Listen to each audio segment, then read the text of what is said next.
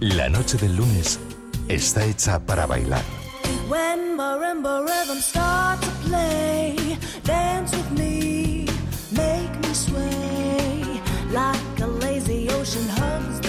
Si él te invita, no podrás negarte.